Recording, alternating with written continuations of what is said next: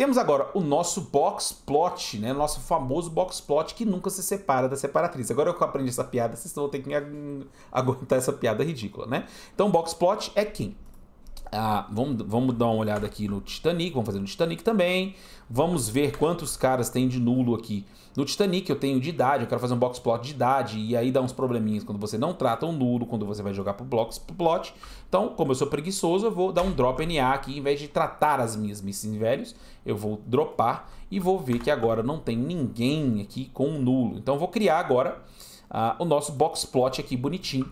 Vamos ver se funciona. Ah, funcionou o nosso box plot. Então, box plot, não vou explicar aqui mais uma vez o que é o box plot, mas box plot é ele tem as, os quartis aqui, né? Tem separatrizes.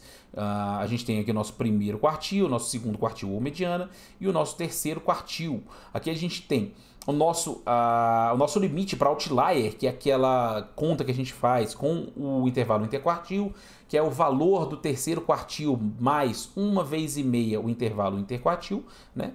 Então, o intervalo interquartil é esse cara aqui, então ele vai pegar o Q3 e botar 1,5 desse intervalo aqui para poder saber quem é outlier ou não. Eu não tenho nenhum outlier aqui, então a gente acaba criando um outlier aqui, colocando um cara de 120 anos aqui dentro do Titanic. Estamos né, manipulando os dados, espremendo os dados até eles confessarem.